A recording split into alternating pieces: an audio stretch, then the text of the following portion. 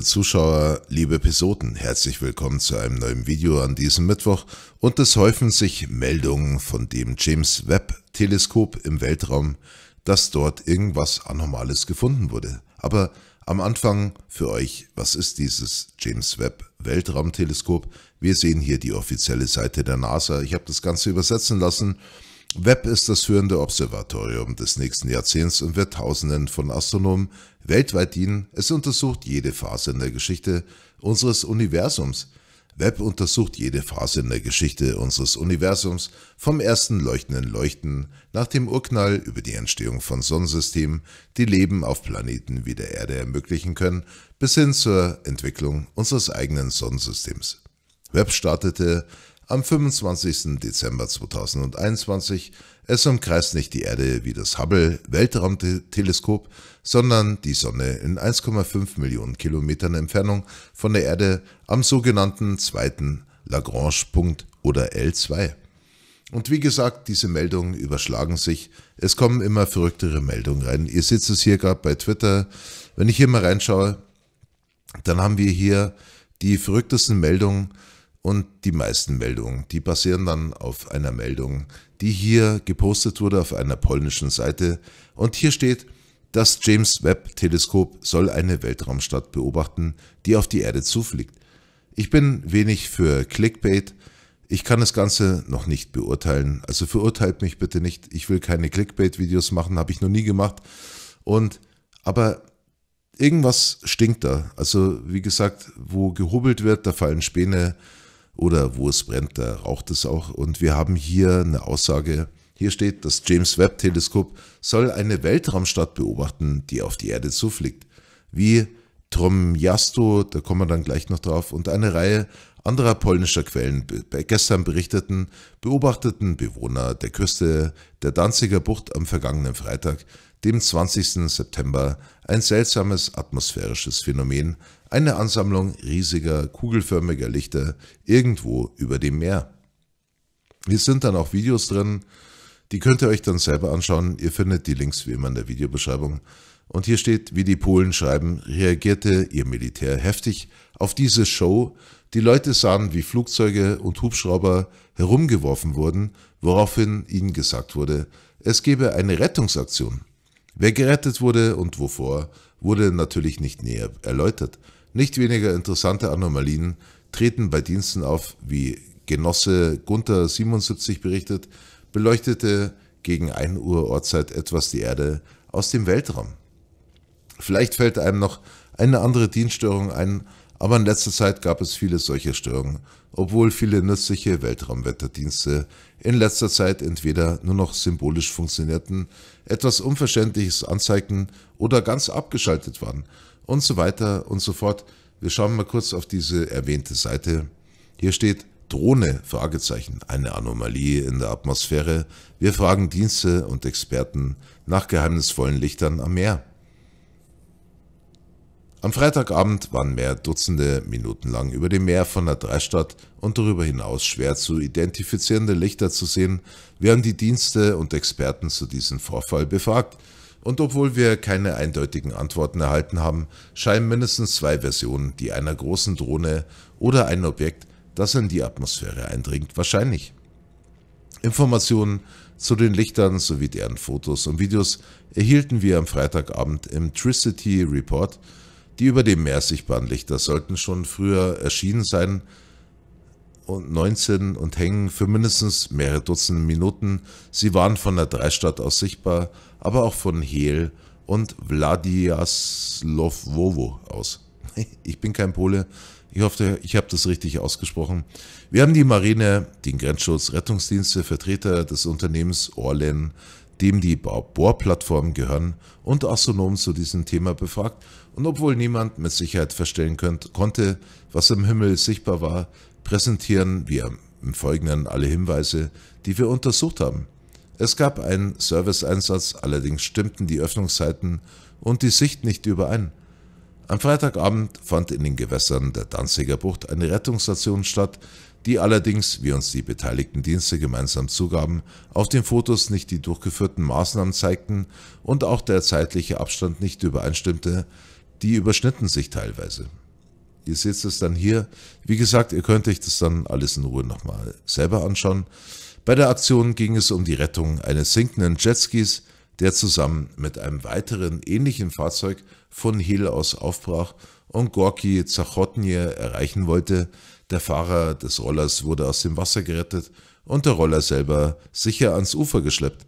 An der Aktion beteiligten sich die Sonderverwaltungszone, der Grenzschutz und die Marine, wie uns Junior Warrant Officer SG Katarzyna Pris, Pritzi Bitz von der Marineeinheit des Grenzschutzes mitteilte, ist der diesbezügliche Bericht bei uns oder bei denen eingegangen um 19.12 Uhr, aber unsere Leser haben das Licht schon einmal gesehen.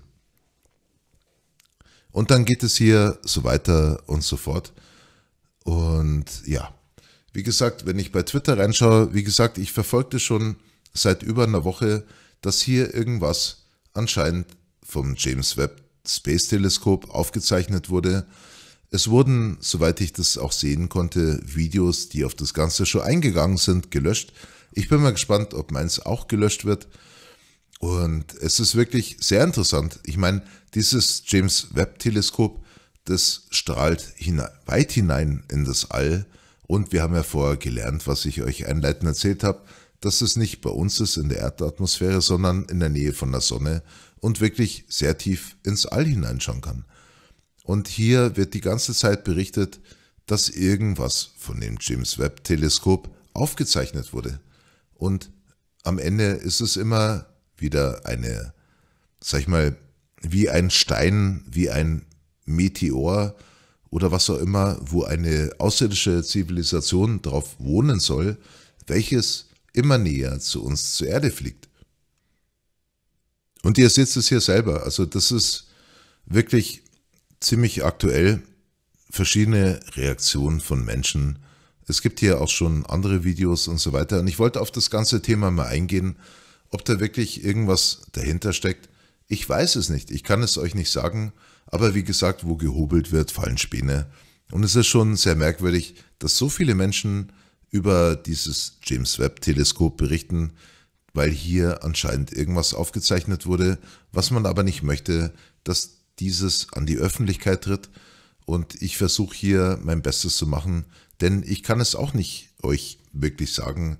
Ihr steht auch schon wieder bei Truthpol vom 23. September, also vor zwei Tagen, dass hier eine Stadt eines unbekannten Objektes, ich übersetze es einfach on the fly, das vermutlich ein Raumschiff sein soll, dass es ihren Kurs korrigiert hat in Richtung Erde. Könnte dieses ein weiteres Oumuamua-Objekt sein oder irgendwas anderes? Was denkt ihr? Und es geht immer so weiter und so weiter. Hat das James Webb Teleskop ein außerirdisches Raumschiff aufgezeichnet? Und ich finde es sehr witzig, warum Videos gelöscht wurden, wenn nichts dahinter steckt. Warum macht man das? Also irgendwas ist an der Sache relativ fischig und ich wollte euch das Ganze einfach mal mitteilen, denn wenn ich in die offiziellen Meldungen so reinschaue, dann finde ich hier zum Beispiel vom 25. September, also von heute, das James Webb Teleskop.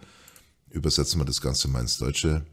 Da steht hier, James Webb Weltraumteleskop entdeckt ungewöhnlich schiefen Exoplaneten. So etwas haben wir in unserem eigenen Sonnensystem noch nicht gesehen. Es ist einzigartig sogar unter den Exoplanetenpopulationen. Genau, das ist das eine. Dann finde ich hier, was? Drei Fragezeichen. James Webb Teleskop entdeckt riesiges Fragezeichen im Weltraum. Mithilfe des James Webb Weltraumteleskops haben Astronomen ein paar weit entfernte Galaxien entdeckt, die aufgrund einer seltenen Form der Gravitationslinsenwirkung zu einer kosmischen, zu einem kosmischen Fragezeichen verzerrt wurden. Und dieser Artikel, der ist vom, steht hier leider nicht drin, der ist aber auch auf alle Fälle vom, doch hier steht's, 10. September 2024. Und irgendwie, ich weiß es nicht, es passt nicht so wirklich zusammen. Ist hier wirklich irgendwas entdeckt worden von diesem James Webb Teleskop? Passt es irgendwie, warum auch immer, zusammen zu diesen Sichtungen, die in Polen beobachtet wurden, in der Danziger Bucht? Und ich weiß es auch nicht. Ich finde es sehr spannend, weil, wie gesagt, ich habe das am Anfang abgetan, so, ja genau, völliger Blödsinn, weil ich mache keine Clickbait-Videos, wo ich sage, oh ja, jetzt sind sie endlich da, die Außerirdischen. Sie kommen hier angeflogen mit einem riesigen Raumschiff und das James Webb Teleskop hat das alles aufgenommen und die Regierungen verschweigen das. Also das ist nicht der Inhalt meines Kanals, wie ihr alle eigentlich wisst. Aber irgendwas ist hier wirklich merkwürdig. Warum melden sich so viele Menschen zu diesem Thema? Und ihr seht es hier selber. Es ist wirklich krass. Wir haben hier, wenn ich hier einfach mal in Twitter, ich sage immer noch Twitter und nicht X, wenn ich hier so rumscrolle, gehen wir weiter zurück. Na gut, da sind wir schon im Dezember 21. Aber ihr habt es ja vorher gesehen in der aktuellen Timeline. Es sind hier Berichte drin, wo irgendwas hier gefunden wurde, inklusive, dass Videos gelöscht wurden, die anscheinend irgendwas gezeigt haben, was ich euch natürlich nicht mehr zeigen kann, weil wenn das tatsächlich der Fall ist, diese Videos nicht mehr online sind und ich sie euch auch nicht mehr zeigen kann. Ich finde das wirklich krass. Ich wollte euch eigentlich ein anderes Video an diesem Mittwoch präsentieren, aber ich finde das sehr spannend, denn warum denn nicht? Also ich habe es ja schon öfters erwähnt, ich habe doch nichts dagegen, wenn es hier tatsächlich irgendwas entdeckt wird. Angenommen, es ist so, wie hier dargestellt mit diesem Bild oder wie in meinem Thumbnail, was ich selber erstellt habe, ob hier wirklich ein außerirdisches Raumschiff auf die Erde zusteuert. Warum denn nicht? Ich habe doch damit kein Problem. Und ich verstehe auch nicht diese Panik, die sich hier entdeckt, äh, entfaltet, weil vielleicht tatsächlich irgendwie eine Disclosure stattfindet, auch wenn ich an das Ganze nicht unbedingt glaube, ob das Ganze nicht irgendwie gesteuert ist, dass man sagt, um irgendwie Angst zu schüren, um Gesetze irgendwie durchzudrücken, dass man sagt, okay, hier, jetzt sind die Außerirdischen da, wir müssen jetzt andere Gesetze schaffen und wir müssen andere Vorgehensweise irgendwie definieren. Das sei mal dahingestellt, aber irgendwas ist hier am Laufen, was irgendwie merkwürdig ist. Und es sind viele Leute, die sich mit diesem Thema schon auseinandergesetzt haben. Und ich wollte auch einfach euch darüber berichten, denn irgendwas ist dort am Laufen. Am Ende entpuppt sich das vielleicht als völliger Blödsinn, was vielleicht auch in Ordnung ist. Auf der anderen Seite, ich würde es begrüßen, wenn wir auf einmal tatsächlich einen Kontakt schaffen würden, etwas entdeckt hätten mit den technischen Möglichkeiten, die wir haben, die wir uns alle rausschicken, genau für diesen Zweck um zu entdecken, ob dort draußen nicht ein außerirdisches Leben vielleicht existieren könnte. Und wenn jetzt dieser Beweis kommt, warum denn nicht? Also wie gesagt, ich bin offen für das. Ich kann mir jetzt nicht vorstellen, dass die Welt in Panik gerät und, und die Welt dann untergeht, sondern dass hier vielleicht endlich der, der Brückenschluss, der Kreis schließt sich, was auch immer stattfindet, dass wir vielleicht in eine in eine bessere Zeit geraten, wo vielleicht alles irgendwie für uns alle besser wird. Keine Ahnung. Ich habe das jetzt einfach mal so freischnauze rausgehauen, wie ich konnte.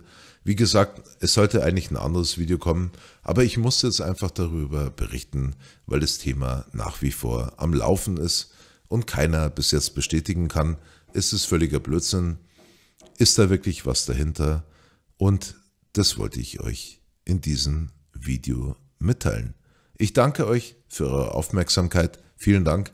Und wir hören uns alle bei meinem nächsten Video. Also macht's es gut. Euer Peso. Servus.